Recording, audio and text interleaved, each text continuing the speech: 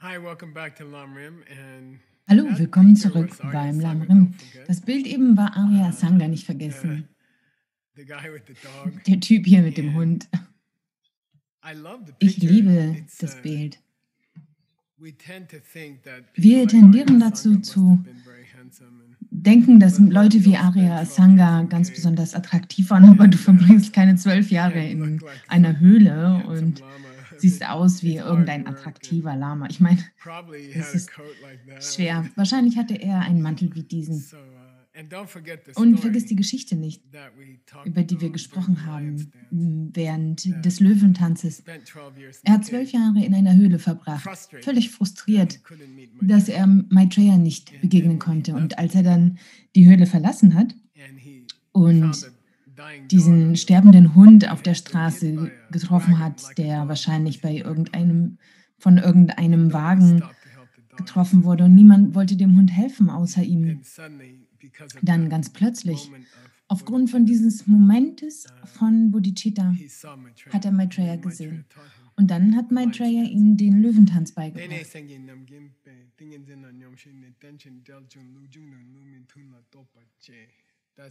Das sind die besonderen, berühmten Verse, die Maitreya gelehrt hat. Okay, hier legen wir los. Uh, Wir sind beim Vorzug, 10 cool oder things beziehungsweise die zehn coolen Dinge, die dir passieren, wenn du Bodhicitta bekommst. Und hier ist Nummer eight. We're 8. starting Wir beginnen mit Nummer 8. which das bedeutet, Dass keine. Hindernisse dich ähm, berühren können.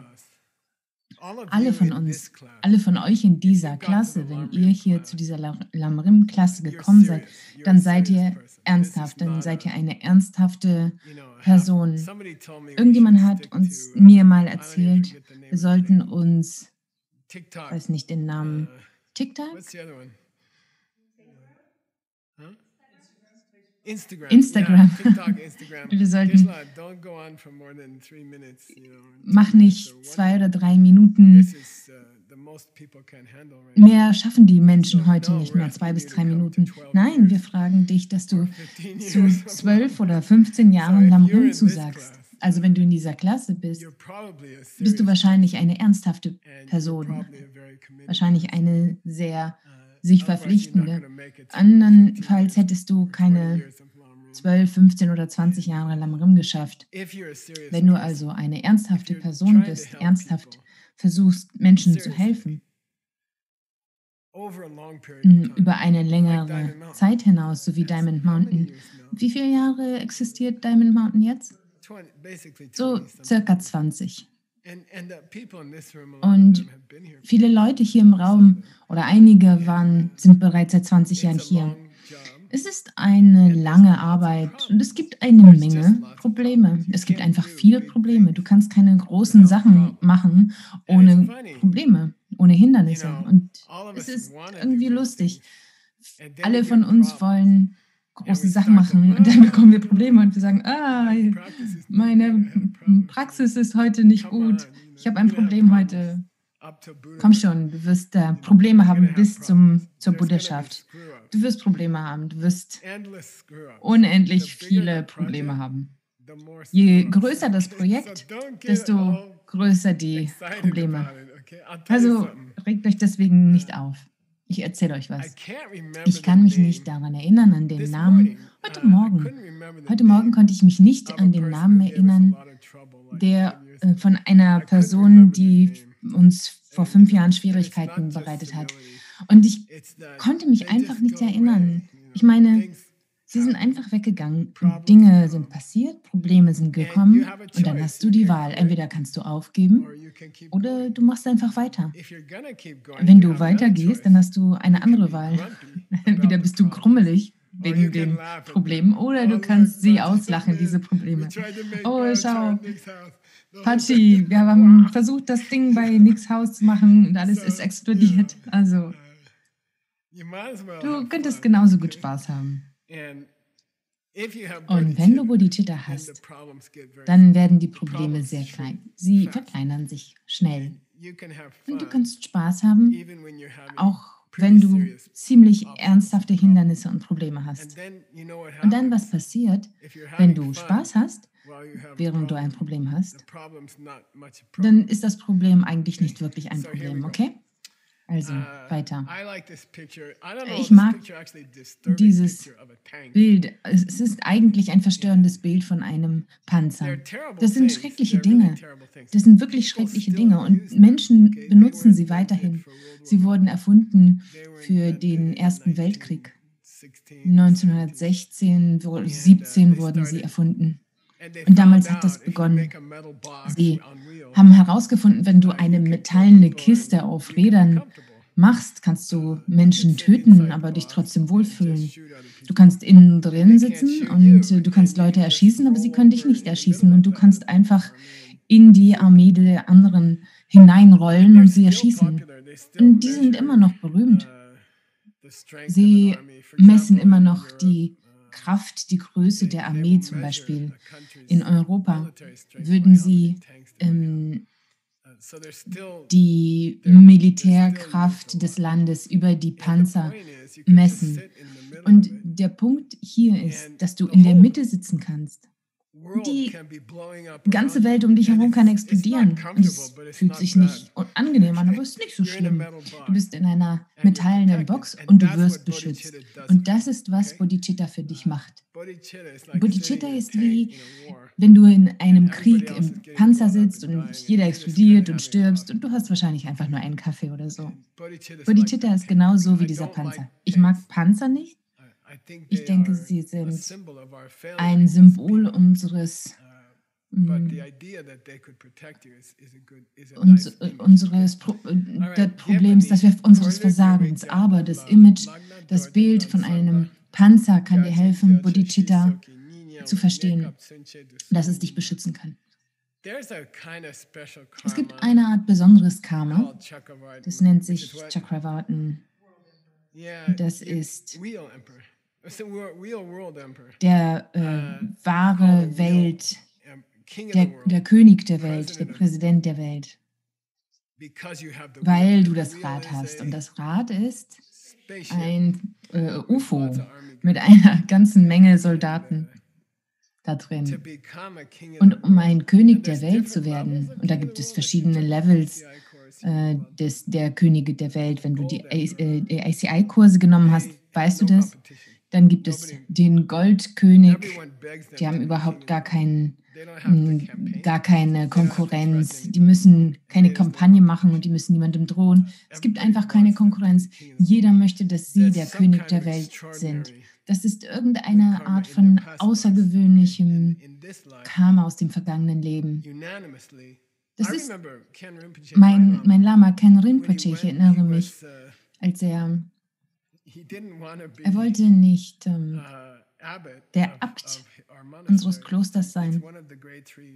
Es ist eine unserer der großen drei mh, Klöstern in Tibet, aber er wollte nicht der. Abt von einer sein. Er war zu beschäftigt und er wollte sich nicht mit, dem, mit der Arbeit beschäftigen. Also hat er alle vier Jahre, wenn sie, oder sechs, alle sechs Jahre, a paper and said, "I will wenn sie ähm, abbot." Gewählt haben während der Wahlen, hat er einen Brief geschrieben und hat immer gesagt, 75 or so, ich will diesen 70 Job nicht, so. also wählt mich nicht. Und dann ist er "Well, okay, I don't have to 75 write geworden, da hat er gesagt, oh, ich muss not gonna do it now." diesen Brief nicht mehr schreiben.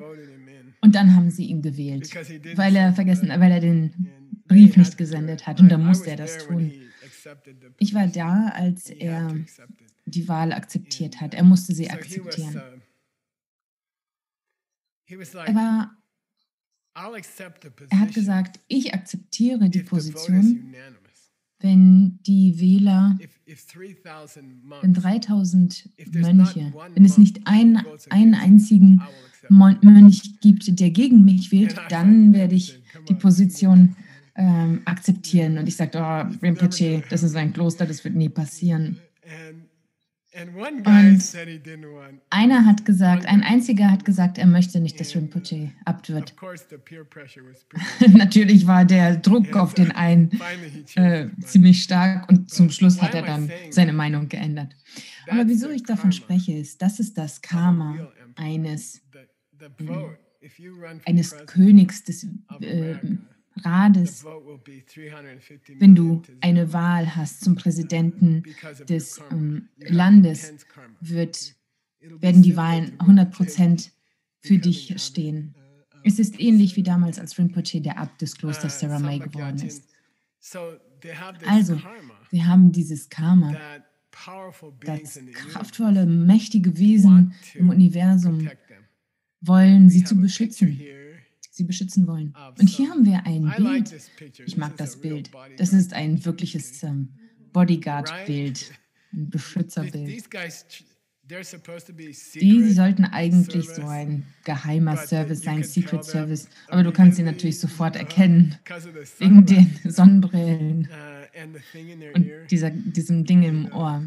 Also wenn du wirklich ein bisschen Aufmerksamkeit haben möchtest, Tim von Mädels, dann hol dir einfach die Sonnenbrille und tu dir das, das Ding ins Ohr und lauf rum. Und jeder wird denken, du bist irgendein hoher James Bond-Typ oder sowas. Wie auch immer. Das Karma einer Person, die starkes, starkes Karma hat aus dem vorherigen Leben und zum Beispiel Leben. und zum Beispiel in ein Land geboren wird, in dem niemand Hunger leiden muss zum ersten Mal in der Zeit der Geschichte, ist es die Natur der Dinge, dass machtvolle Wesen ihre Bodyguards sein möchten. Und sie sind die ganze Zeit um dich herum. Sie beschützen dich die ganze Zeit. Wenn du das Karma hast, zum Beispiel zu Diamond Mountain kommst, wenn du das Karma hast, Diamond Mountain in diesem Leben zu erreichen, dann hast du diese Wesen bereits um dich herum. Du siehst sie nicht, aber es gibt Wesen um dich herum, die Probleme von dir fernhalten. Jetzt schon. Und du weißt es niemals. Aber es gibt jetzt schon mächtige Wesen, die dich beschützen. Und sie sind nicht unbedingt Buddhisten. Sie können Buddhisten sein, aber manchmal sind sie einfach nur interessierte Bodyguard-Wesen.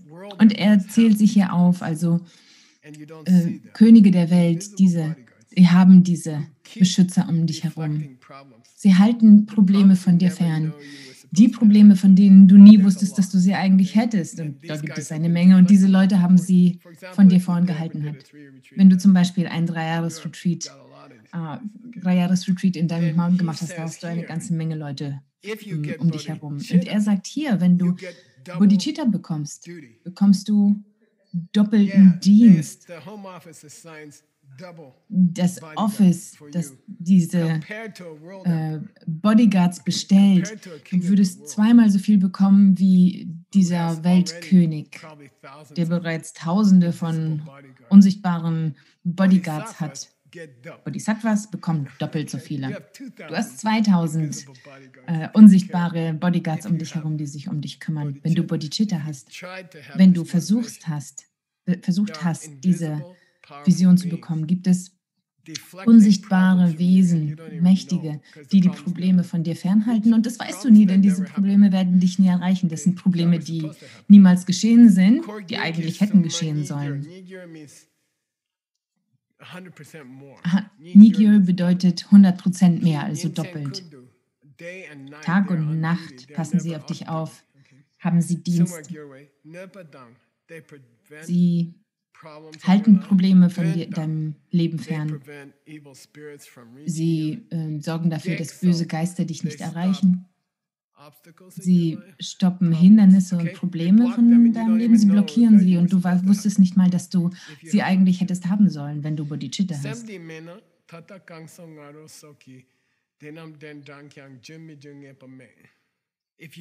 Wenn du kein Bodhicitta hast und du Kangso machst, uh, das ist wie Sojong, uh, aber es hat zwei Teile, Kang und So. Kang bedeutet neues gutes Karma äh, anzusammeln und Song bedeutet ähm, altes schlechtes Karma zu lösen. Und es ist ähnlich wie der Sojong, aber es ist uh, viel kraftvoller. Es ist wie ein tantrisches Sojong. Viele der Colleges eines großen Klosters wie Sarah May würden äh, diese Kangsongs machen, einmal im Monat. Die wurden besonders für das Kloster geschrieben.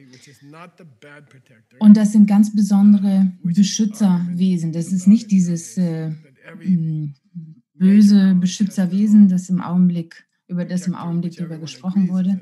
Aber es ist ein Beschützerwesen, wo jeder äh, das auch als ein gutes Beschützerwesen wahrnimmt. Er sagt, du kannst all die Leute aus deinem College zusammensammeln. Du kannst all diese großen Trommeln schlagen und du kannst die Beschützer rufen zu deinem monatlichen tantrischen Sojong. Und sie werden nicht kommen, wenn du kein Bodhicitta hast. Sie werden nicht kommen. Das bedeutet, wir wissen nicht, ob es kommen werden oder nicht.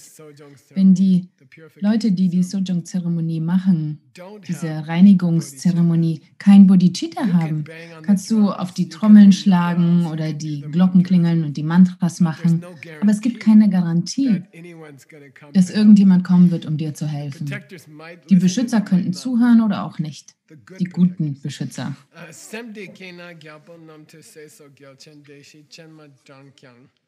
Aber wenn du Bodhicitta hast, dann werden sogar die höchsten der Beschützer. Hier ist das Beispiel die vier großen Könige, wie zum Beispiel bei Shravana, die sehr mächtige buddhistische Beschützer sind. Sie werden kommen, um dich zu beschützen, als wenn sie deine Angestellten wären. Als würdest du sagen, hey, hallo, wo ist mein Kaffee? Und die sagen, ja, hier, bitte sehr. Diese großen, gefährlichen Beschützer werden wie deine Angestellten.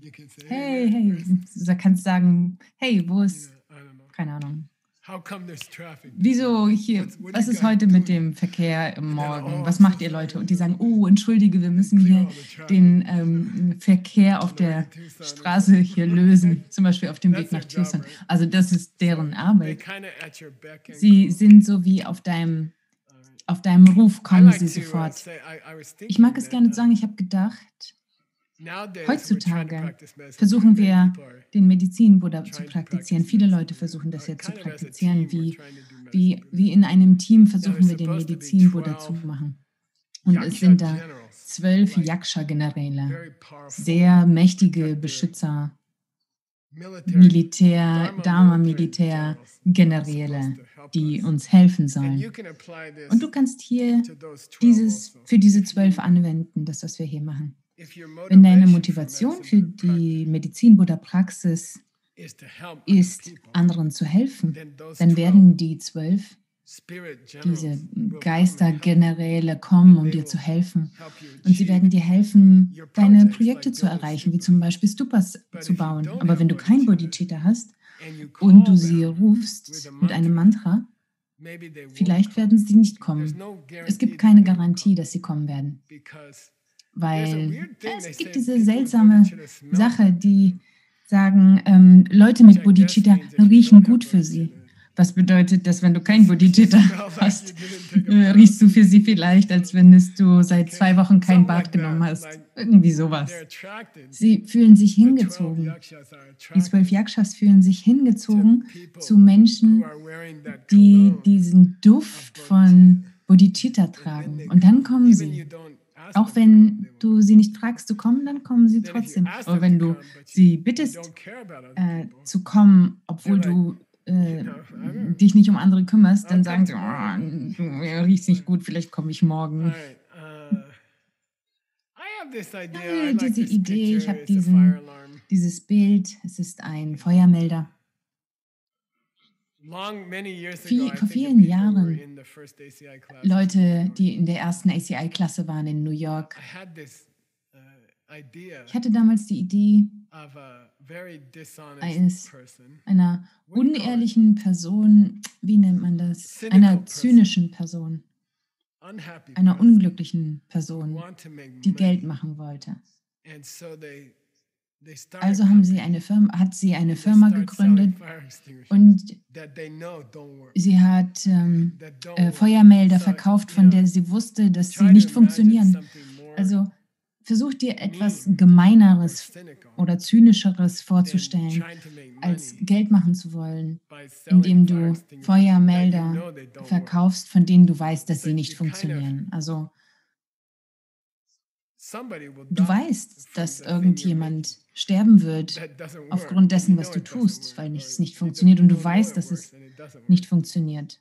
Du weißt, dass es nicht funktioniert. Ich denke, der Punkt hier ist, Praktiken zu tun, Buddhist, buddhistische Praktiken zu tun, ohne Bodhicitta und sie anderen Menschen beizubringen, ist wie Feuermelder zu verkaufen, die nicht funktionieren könnten. Feuermelder, die nicht funktionieren könnten. Also wird jemand verletzt werden, jemandem ein Ritual beizubringen oder ein Mantra und ihn nicht und dieser einer anderen Person nicht Lamrim beizubringen oder nicht Bodhicitta beizubringen. Ist es, als würdest du jemandem einen Feuermelder geben, der nicht funktioniert oder der nicht funktionieren könnte? Und wenn er nicht funktioniert, dann wird natürlich jemand verletzt werden. Und das ist das, worüber Sie hier sprechen. Also was ist eine sichere Sache zu tun, damit das funktioniert? Sei einfach nett zu anderen. Mach deine Praxis für andere. Wenn du deine Praxis tust für andere Menschen, das bedeutet nicht, dass du die Praxis auch für dich machst. Wenn du sagst, alle Lebewesen, dann rate mal, wer davon einer ist. Menschen vergessen das, das ist so lustig. Ich mache das für alle Lebewesen, außer mich selbst. Wieso nicht für dich auch? Du bist auch ein Lebewesen. Also vergiss das nicht. Wenn du praktizierst, Bodhicitta praktizierst, für alle Lebewesen. Mein Lama sagte, da, du bist auch einer von ihnen. Du kannst auch Gebete für dich selbst machen, das ist okay. Du bist auch ein leidendes Wesen. Wir lassen dich nicht aus oder so. Das wäre so, so lustig, seltsam. Du musst auch dich selbst lieben. Du verdienst es, geliebt zu werden, weil du auch ein äh, leidendes Wesen bist. Du musst nicht liebevoll sein, du könntest auch unliebevoll sein, weil dann auch dann verdienst du es, geliebt zu werden. Hier, ich liebe dieses Sutra. Jedes Mal, wenn wir ein Zitat hier haben, ist es so schön. Dieses hier nennt sich das Haus im Juwelenwald das Haus im Zirkel von, ähm, von Bäumen, die gemacht sind von ähm, Rubin, äh, Rubinen und Saphiren. Das ist der Name dieses Sutras. Und es ist eine lange, es ist eine Art langer Satz, aber was er bedeutet ist, im alten Indien waren wie nennt man das? Du tust Dinge in eine kleine Tasche und du äh, trägst es um deinen Hals herum. Aber was ist, wenn du da so Kräuter reintust? So eine Medizintasche und du tust es um deinen Hals und dann sind, gibt es bestimmte Krankheiten, die du nicht, nicht bekommen kannst. Heutzutage heißt es eine Impfung. Früher hast du dann das in eine Tasche getan mit den Kräutern. Das würde dich vor bestimmten Krankheiten beschützen. Und da gibt es eine Liste von ihnen in den Sutras. Also eins davon ist, nennt sich, es bedeutet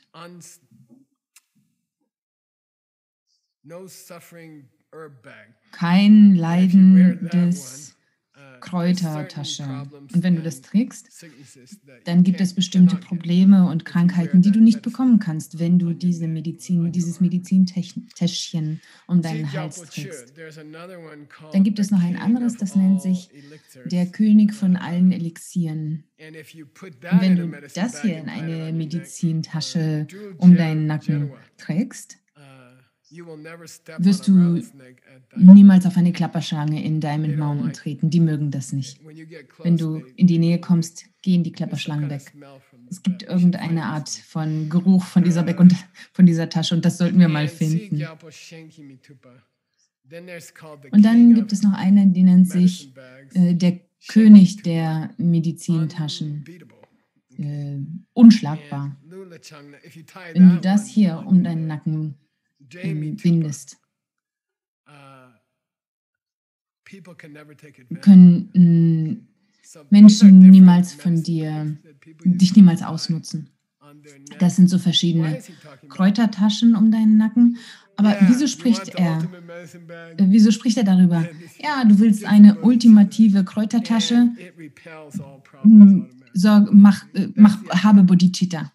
Das löst alle deine Probleme. Das ist der Gedanke dahinter. Die alten Sutren sprechen über besondere Kräuter, die du in ein Täschchen tun kannst und um deinen Nacken tragen, um deinen Hals. Und bestimmte Dinge, bestimmte schlechte Dinge werden dir nicht passieren, wie zum Beispiel der Biss einer Klapperschlange. Aber wieso nicht einfach Bodhicitta haben und das um deinen Nacken binden? Und dann kann dir gar nichts passieren. Und das ist ein anderer Vorzug von Bodhicitta. Du wirst äh, un, nicht schwängerbar. Ich habe hier ein Bild. Ist das nicht eine coole Idee, dass wenn du eine bestimmte Art von Motivation hast, von einem Planeten zum anderen zu hüpfen, dann wäre es wie die Covid-Impfung. Und du würdest nie bestimmte Probleme bekommen. Sie können dir einfach nicht passieren. Heutzutage bekommen Leute, einige von uns die Impfung. Ich war in meinem Haus für ein Jahr. Ich bin nirgendwo hingegangen. Wenn ich etwas äh, gebraucht habe aus irgendeinem Laden, da brauchte ich irgendetwas für meinen Garten zum Beispiel, dann habe ich sie angerufen und habe gefragt, ey, bring dir auch nach Hause. Ja, was brauchst du? Bring mir einen, ähm, einen Sprenger für den Garten. Könnt ihr das, ähm, könnt ihr das liefern? Ja, es kostet 100 Dollar, um es zu liefern, obwohl der, der Springer, Sprinkler mm, nur 10 Dollar kostet. Und ich habe gesagt, ja, okay, ich bekomme das. Verdammt, habe ich gesagt, ich könnte loslegen und mit meinem Auto das kaufen ähm, und fahren. Aber ich möchte nicht sterben. Na klar, zahle ich die 100 Dollar, damit sie es liefern. Und dann geben sie dir eine Art Impfung. Und das ist so cool, denn jetzt können wir in Cafés gehen. Ich war in San Diego, ich war an einem schönen äh, Strand, da habe ich eine Woche gesurft. Jeden Morgen habe ich diese Waffeln da gekauft. Und ich habe gesagt, super. Und das ist eine Impfung. Also Bodhicitta ist die ultimative Impfung. Du musst keine Maske tragen, du, denn wenn du Bodhicitta hast. Ich meine, du solltest immer noch eine Maske tragen. Du solltest eine Maske tragen. Ich habe hier meine Maske irgendwo liegen, aber du solltest sie tragen. Ich habe wirklich hier eine. Oh. Hier ist meine Maske. Aber ich trage sie immer noch. Aber was ich sage ist, wenn du eine echte Impfung bekommst, die Bodhicitta heißt, dann musst du dich nicht um andere Dinge kümmern. Ich sage nicht, dass du keine Maske tragen solltest. Ich sage auch nicht, du solltest keine Impfung bekommen. Aber ich sage, wenn du Bodhicitta hast, dann wird deine Maske funktionieren und deine Impfung wird auch funktionieren, die du immer noch trotzdem haben, bekommen solltest oder tragen solltest. Okay, ich bin losgegangen und habe dieses Zitat vom Sutra gefunden und wenn du interessiert bist, dann gebe ich es euch ähm, eines Tages und es ist lang und langweilig und wir wissen sowieso nicht, was in diesem Täschchen ist. Aber jetzt werden sie über hm, Geshe sprechen. Ich hatte so einen Lehrer, der nennt sich Geshe, das war ein Kadampa Geshe von vor 1000 Jahren. Geshe Kalumba. Uh, er, war, er hat meditiert. Ähm, er hat über Bodhicitta meditiert in den Bergen an einem Ort, in einem Staat, der hieß Pembo. Und da kommen einige coole Lamas her. Uh, da hatte ich ein, einige Lehrer. Dann waren dort einige böse Geister, die dort zu dem Zeitpunkt gelebt haben. So wie sie hier früher in Diamond Mountain hatte, hatten, so negative Geister. Wahrscheinlich Menschen, die hier gestorben sind und immer noch darüber verärgert waren. Er hat über Bodhicitta meditiert in seiner Retreat-Hütte und die Retreat-Hütte wurde von negativen Geistern umrundet. Und sie haben gesagt, his lass uns diesen, diesen Typen das Retreat ruinieren. Zum Beispiel äh, ein. Wasserrohrbruch, gerade wenn er sein äh, Retreat angefangen hat. Wenn du jemals versuchst, ein Retreat zu machen, gibt es Millionen von Dingen, die. uh, Eines Tages habe ich ein Retreat gemacht. Und da kam eine Zikadenplage, äh, Tausende von Grashüpfern um die. Hütte herum und die haben gemacht und, und dann sind sie weggeflogen und später habe ich Später habe ich herausgefunden, dass eine Pfauenfarm äh, in der Nähe war und die haben gemacht. Also wenn du? Ähm, versuchst, ein Retreat zu machen, pass auf, dass du die Dinge nicht um dich herum hast. Wieso sprechen wir darüber? Dieser Gesche wollte "Let's go get him, ein Retreat machen und diese Dämonen haben gesagt, diese schlechten Geister haben gesagt, lasst uns sein Retreat ruinieren. said, ah, Einer von denen hat gesagt, ah, es funktioniert nicht. Es funktioniert nicht. Wir versuchen sein retreat. Zu ruinieren. Wir versuchen retreat. sein Retreat zu stören. It's Aber es funktioniert nicht. Was ist das problem? You know, Was stoppt uns? Und einer hat gesagt, er liebt uns mehr als sich selbst. Er kümmert sich mehr um uns als über sich selbst. Wir können ihn nicht berühren. Wir können ihn nicht berühren. Das ist so cool. retreat. Yeah. Lass uns einen äh, Retreat ruinieren. Ah, ja, es funktioniert nicht. Wieso? Ach, er liebt uns mehr als sich selbst. Wir vers versuchen ihn zu verletzen, aber es funktioniert nicht. Er liebt uns so sehr. uh, Leute fragen mich immer nebenbei, viele aus unserer Gruppe haben versucht, Retreats zu machen, zum Beispiel Medizin-Buddha-Retreats. Und du hast immer Probleme. Du bekommst immer Probleme. Probleme kommen im Retreat. Und ich denke, nicht, nicht uh, wenige von uns glauben, dass sie diese Geister gesehen haben, während sie Retreat gemacht haben. Es ist für 40 mich zweimal in meinem Leben passiert. Und ich denke, ich habe diese Geister gesehen. Und Menschen fragen mich, Was soll ich tun? Ich habe einen Geist in meiner, in meiner Retreat-Kabine. Einer, den ich gesehen habe, hat ausgesehen wie ein guter Freund von mir. Und ein anderer, den ich gesehen habe, uh, äh, sah aus wie uh, schwarze Tinte, die zwischen Wand und Decke so ein bisschen rumgeflogen sind und hat, haben meinen Retreat gestört. Also Menschen fragen "Do you mich, glaubst du spirits?" an diese said, "Well, Geister? Und ich sage, I ja, ich, ich bin nicht damit aufgewachsen in einem Land, wo meine Eltern über diese Geister gesprochen haben. Wir dachten, es ist Aberglaube. Also bin ich nicht aufgewachsen, in diese äh, Art von Geister zu glauben. Aber ich habe sie, ich bin ihnen begegnet einige Male. Und dann habe ich meinen "What should Lehrer I do?" gefragt, was soll ich tun? Was kann ich tun? Wie bekomme ich sie aus meiner Retreat-Hütte raus? Und er sagte, liebe sie. Sie halten, können das nicht aushalten. Lieb sie einfach. Freunde dich mit ihnen an, kümmere dich um sie, unterstütze sie. Lass ähm, willkomme äh, böse Geister in deiner Kabine. Vielleicht möchtet ihr ein paar Thomas. Seid ihr vielleicht hungrig? Ignorieren euch Menschen vielleicht? Das Frustrierendste für böse Geister ist, wenn Menschen nicht glauben, dass sie existieren. Sie sagen, ja, wir sind hier, soll ich das beweisen? Also, Wie können wir damit umgehen? Mit beinahe übernatürlichen Hindernissen. Das sind auch lebende Wesen, lebendige Wesen, das sind auch Leute und sie brauchen auch Liebe. Und sie reagieren auf Liebe. Jeder reagiert auf Liebe. Also liebe sie und sag ihnen, du liebst sie und zeig ihnen, dass du sie liebst. Pflück ein paar Blumen für sie und tu sie auf den Altar. Dies ist für euch, Leute, nicht für die Buddhas.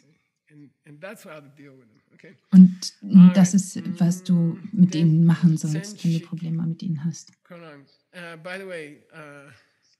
Nebenbei hier im, in der Schrift im Lamrim, dieser Geshe Kamlumba, Die Dämonen, die Geister versuchen, einen schlechten Namen äh, für ihn auszudenken. und sagen, er ist einfach wie Dr.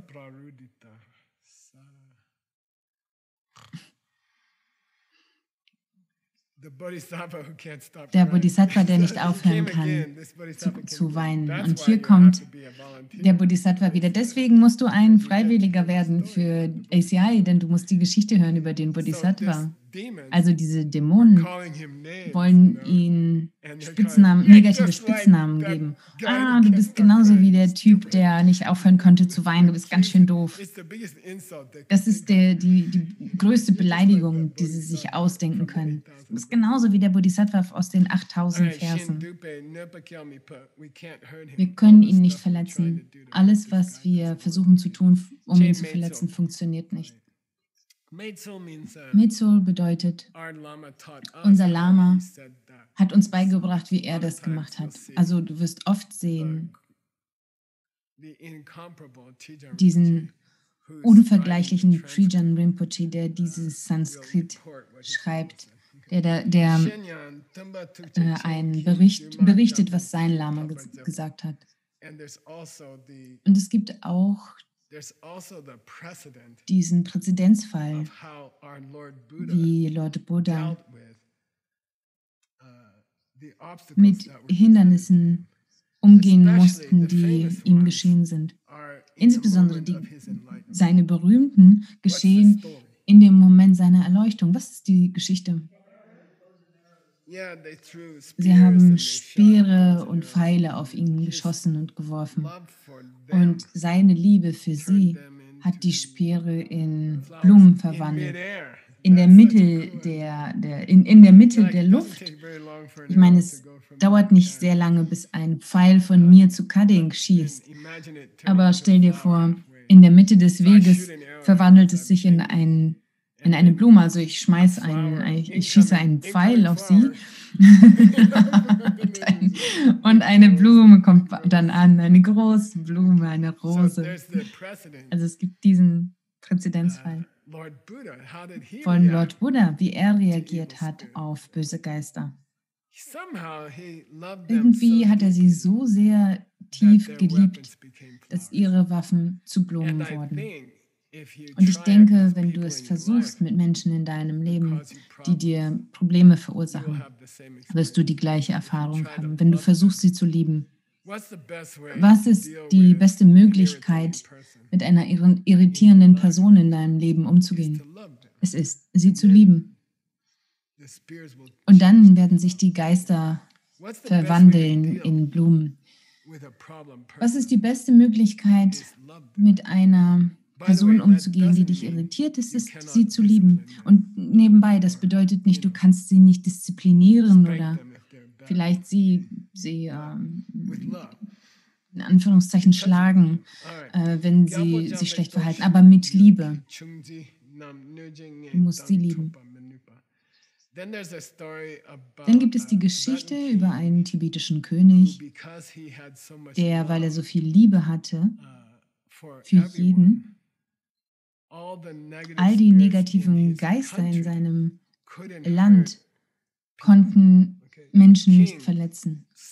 Der König war ein so gutes Beispiel davon, Menschen zu leben, lieben, die ihm Probleme verursacht haben, dass wenn die Dämonen versucht haben, das Land äh, zu, zu verletzen, zu zerstören, zum Beispiel die, äh, die wirtschaftliche Lage des Landes. Uh, Dann konnte das nicht äh, verletzt werden. Wie heißt dieser Typ, der geholfen hat, äh, dieses Buch zu schreiben, die, die Kirchen von England oder so? Es ist ein, außergewöhnliche, ein außergewöhnliches Buch.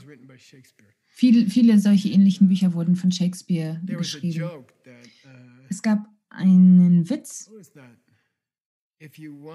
wenn du für den Rest deines Lebens gefüttert werden möchtest, werde zu seinem Feind, denn er wird sich für den Rest deines Lebens kümmern. Es war eine sehr wunderschöne Geschichte. Dieser Bischof.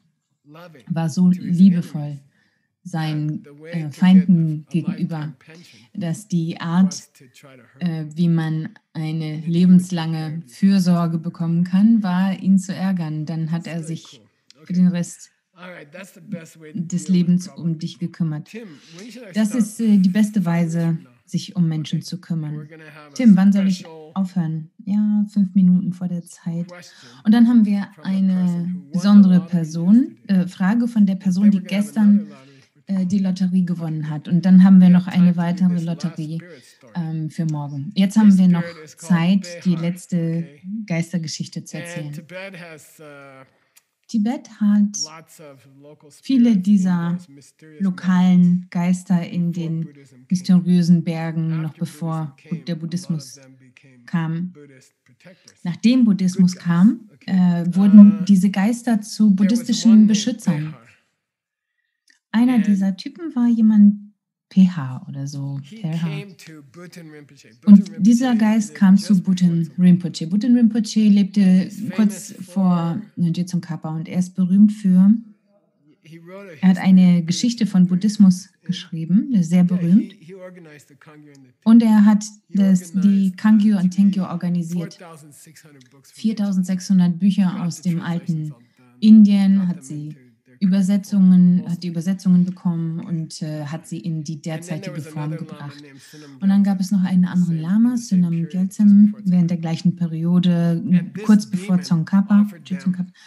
Und dieses, dieser Geist, dieser Dämon hat ihm ein, ein Bambus, äh, ein Bambusstiel angeboten. Das wurde später zu einem Stift. Und dieser Geist hat, äh, dieser Wieso würde dieser Dämon zwei berühmten Lamas einen Stift anbieten? Ja, genau. Es ist wie, als würden sie eben einen Computer geben. Und ach so, dadurch hat er versucht, äh, ihre Meditationspraxis zu stören. Zum Beispiel dass sie eher Bücher schreiben, als zu meditieren. Und dieser Dämon hat gewonnen. Er war in der Lage, diesen Stift, heutzutage wäre es ein Computer, diesen beiden Lamas anzubieten. Aber Nucho, das bedeutet ähm, Quicksilver, das ist, sind zwei berühmte Lamas in der Vajrayogini-Linie.